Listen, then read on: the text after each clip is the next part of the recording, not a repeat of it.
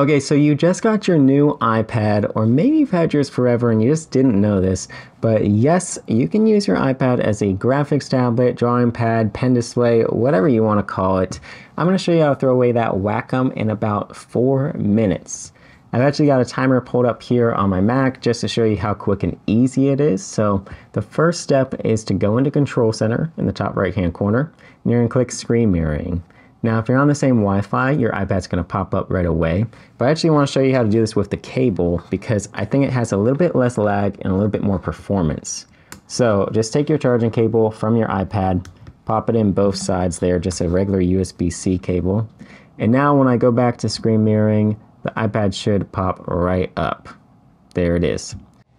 Now, first thing you're to notice is it really zooms in your computer. It like magnifies this thing. That's because it's optimizing the screen for the iPad and not the Mac. That's actually like personal preference.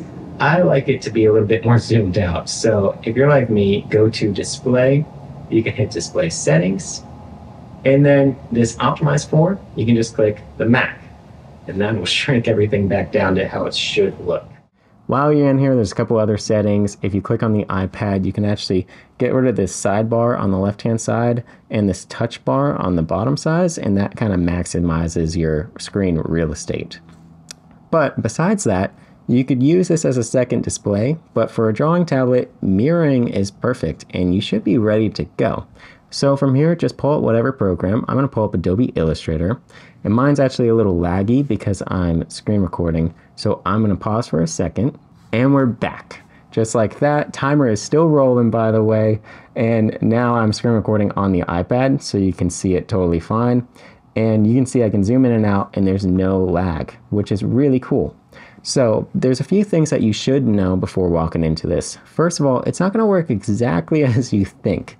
And what I mean by that is you might think, hey, I'm going to click on the rectangle tool here or something, and tapping on it doesn't really work anymore. Um, so then you think, well, I've got the magic keyboard. I'm going to use my trackpad. And the trackpad, you actually can't click on things either. So the way you control this iPad, whoa, that was thunder. Sorry. The way you control this iPad is by using your Apple Pencil. So if I bring this up to here, you can see it hovers around and now I got my mouse control again. And then I can touch down and I can draw. So it's actually really nice. And then the Magic Keyboard does work. I can do Command Z and get out of there. I can go select something else. So whether you're using this for Photoshop, Illustrator, even After Effects to draw on a video or something, it's pretty intuitive.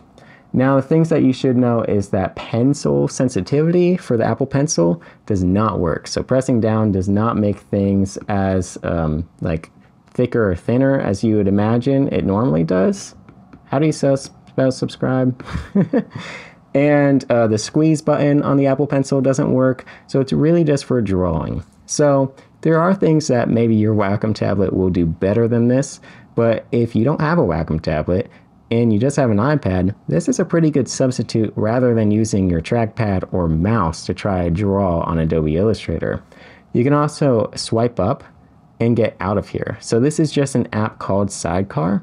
So you can open up different apps, mess with them, then go back to Sidecar and start drawing immediately and take control of your Mac again. So if you found this helpful, then please hit the subscribe button. I post a video every single week. Let's see if we're still under four minutes. It's four minutes, five seconds. I hope that's okay. I'll see you next week with another design related video.